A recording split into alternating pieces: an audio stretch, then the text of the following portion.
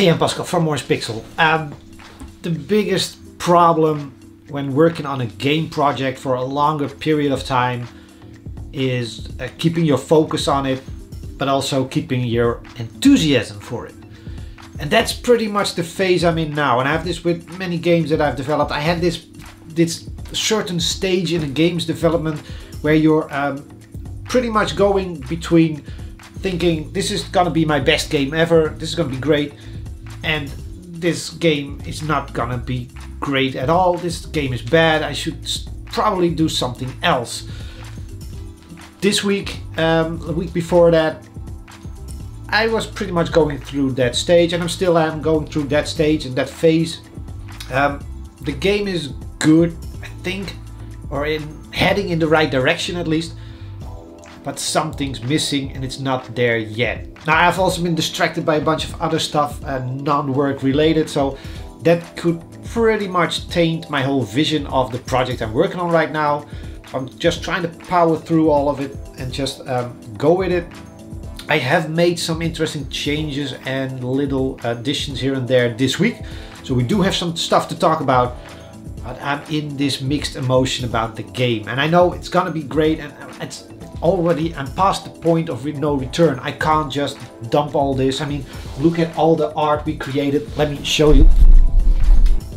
There's so much art already created, a lot of it by Dylan, the intern. Um, we're not gonna dump all this work. And of course, all the code I've written for the game, all the, the stuff created, all the entities, all the, the AI logic, the pathfinding, a lot of work has already gone into this game. We're not gonna dump it but we really need to find a way to pull it all together and make it work. So that's where I'm currently at with this game. Let's do the intro.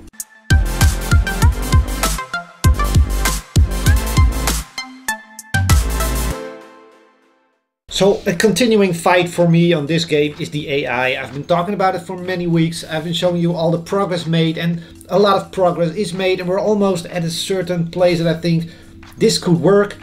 But then when I'm playtesting, uh, something happens and another thing happens. All these little things where your team is just nowhere to be seen or getting stuck behind furniture in the game or just not knowing how to pass around a simple corner or wall. There are just so many cases that don't work. And uh, the vision I have for this game needs uh, these guys to do their job. So um, I've been wasting a lot of time on it. It's now almost December. Um, decision has to be made, so I've been tweaking and changing and slightly uh, pivoting, as I mentioned last week, uh, pivoting the game concept a little bit. I still want to keep this team because I can imagine this game is gonna shine when you play it in uh, with another buddy. Uh, two player local, because online is gonna be very tough to do but a local two player, maybe even four players. Not sure if that's going to be a thing, but imagine grabbing a buddy and really going for it as a team and then giving each other pointers. I'm at the door, make sure you're at that door, and then we breach. And having that team play in this game, um, that's pretty much the vision. I'm just not sure that the computer can handle uh, all the decisions on its own. So um, the solo version, the single player version, will have to have a few changes here and there. And then what I've been doing this week seems to have worked. Um, the mission, my goal is to have less of a stealthy gameplay, but more just an action gameplay. Go in, take everything out, and not so much stealth. I know stealth missions would be awesome, sneak around, but you can't do that if the computer is controlling characters because you just don't know what they're gonna do all the time. Most of the time you can uh, see what they do and I can keep them in safe distance and things like that but then they don't know when they have to go in for the kill and there's just a lot of work to make that happen and make it uh, convincible to the player and that's the biggest problem. Um, this game is gonna get bad reviews if the AI is simply not at that certain level and I don't think I can get it at that level. I've seen AAA games that can't get it at that level so uh, it was a bit foolish to think I could get it at that level being a solo game developer all by myself. I mean these AAA games have teams working on AI non-stop for a couple of years. I want to create this game within a year, everything. It's been a little bit of a foolish idea, but the AI that's in the game right now has a lot of functionality and use and we can create something with it and um, that's pretty much what I'm trying to push the game towards now. Um, focusing on what's there and what can be used and then build a game around that. So even if my AI fails at moments, it shouldn't harm the player. The player should still be enjoying itself and just have cool events and cool moments in the game um, that distract from the AI that might be doing silly and stupid things. That's pretty much what I'm trying to work towards now. And while doing that, of course, it's a big letdown that my vision isn't gonna come through. Um, but yeah, so be it. I want to create more games, so this game can't take years and years. I need to finish it, I need to complete the game in the best way possible and move on to the next game or keep pushing updates to it, whatever. Uh, but the vision I had is pretty much not exactly gonna happen with this game. Maybe the next, maybe the sequel will have all that because now I've wasted a lot of time on creating this AI. So next time I can skip all that time and pretty much uh, push that AI towards new stages. So uh, that's also what I've been saying in all these videos over the years. Don't try to do everything at once in your um, current game. Just uh, sometimes you have to um, leave things as they be and learn things for your next game. Um, you can't put a lot of new stuff into one game because you'll have to learn a lot of stuff you have to waste a lot of time learning those things and not really building the game and it can all fail and then you end up with nothing. So for this one uh, the AI is working up and running it's usable just not in the way I originally envisioned it. But eh, can't have everything. One of the first changes I did and I'm still tinkering with what I want here is that when you start a new game we now start in HQ, uh, headquarters, and everything is around here. This was the city view. Um, might still go back to the city view. I'm not really sure what works best.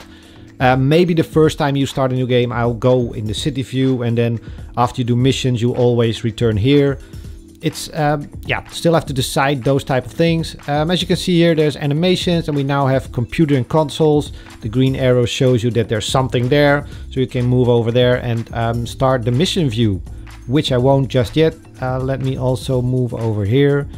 Bunch of animations. I think I already showed these uh, a few weeks ago but we now also have these animations and um, these just happen to be all the bald guys. There's also a scientist with a lot of hair. They are picked randomly and placed at these um, DNA sequencing device type thingies. So um, been adding more and more animations and lots of uh, credits to Dylan for doing that, the intern. Personally, I think um, that's the extra power I have on this game. Having Dylan there doing a lot of extra animations I personally would not have done. Like this guy, the computer, I think it's like six or seven frames. If I had done that animation on my own while also creating the game, it would have probably been two or three frames, um, maybe not even animated at all. So uh, like these consoles as well, a lot of stuff happening, a lot of animation frames. I would have done maybe two or three animations or very tiny because it's just a lot of work and combining that with actually creating the game it would have taken me way too long for something that's just there. So um, a lot of extra effort going into the graphics thanks to uh, Dylan. Well done, DMAC. Alright, street view, city view. I've changed some things the way the street enters. Um, let's start. Well, you can see already over here. We have some barricades, we have some enemies, and we're now not driving all the way to the, to the front. We're driving somewhere here so that the street has more um, gameplay in it this was just drive to the front door and enter the building and now you'll actually need to find a way towards that building which is still pretty simple.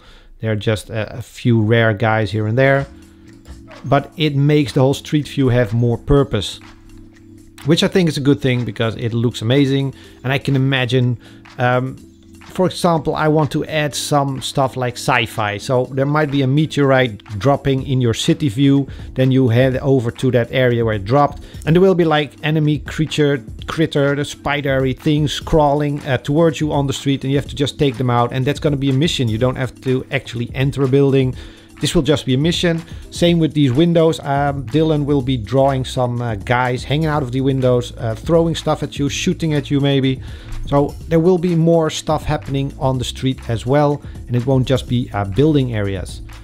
Now we can go and enter this building. You'll also notice that your squad is now much more active. It will be moving a lot more often, a lot more closer to you. Um, this actually helps the AI somewhat. They will stick closer to you, they will look more active and it will also allow you to do faster actions and take out enemies much faster. Um, of course, this is all still very simple and basic and this guy's head is floating strange. Um, it's all still very simple. The enemies aren't that strong and, and active yet, but uh, that's something I'll be working on. And they will have more weapons, they will hide and they will pop out of things. It will be more interesting, but right now um, it's not. It's simple as that. Although they are already a bit smarter than they were, they will now actually track you and trace you and try to hunt you down. It's just a little bit buggy. Of course, now we can do a breach, and as you can see, they're still moving to that door. So that part of the tactics squad stuff is still in there because it, it's amazing, and we can just uh, command breach and uh, enter the building from two sides. And we take out these guys, and then they do stupid stuff like this, which is the reason I'm not happy with it. This is fixable, but there's a lot more things that just aren't there, and just they destroy the whole uh, concept of it. So I need to fix those things. Also, the doors, as you can see, when we now breach a door, um, actually added a little punch to it by creating a door that actually flies out of it. So that really gives a little extra thump. I just need to add some screen shake to it because this is an indie game and indie games have screen shakes. So um, that's pretty much all I've been doing. Just trying to get everything up and running. And another example of the squad stuff not working. Where are my guys? Where are they? Let's see if we can actually move them over here. For some reason, they're just, um, they can't find the path from where they are. So yeah, they're stuck and um, stupid. Now I'm controlling them actually. Uh, which key was that? Forgot which key I used for that. Oh, no, man. I forgot I actually added that option. I can switch teams if only I know which key I used for it. Oh wait, I think, yeah, the Z. So that's still an option. I'm not sure if I want to keep that in the game, but you can uh, switch your team and uh, control the other two, which might actually be interesting. I'm not sure. So yeah, um, not a lot of stuff done. I've just been distracted with a bunch of things. I talked about it on the Discord. Uh, hop on the Discord if you want to know or whatever. Um, it's almost December as I'm recording this, which means I'm working towards my end of year review video. Um, this is gonna be, I think 30th of December is on Thursday. Uh, it's gonna be on the 30th, almost the last day in the year. There will be a video uh, talking about how the year was for Orangepixel, if I'll still be making games next year. And the week after that will be January. And I will do my uh, plans for 2022. Wow, I've already written down a bunch of things I want to accomplish next year and um, there's gonna be a couple of fun videos. We're almost at 10k subscribers. Thanks and hi to every new subscriber. That includes you. Even, yeah, you know it, the weird guy in the back. Oh, thank you for subscribing. Are you... Alright, so um, that's it not a lot of stuff to cover this week. Um, had some uh, great different type of videos in the previous week. So if you haven't watched those, check them out on the channel. And of course, we got some cool videos coming up at the end of the year. Um, all right, that's it. Thanks for watching. Like, subscribe, comment below, hop on the Discord, come say hi. And I'll see you next week. Bye.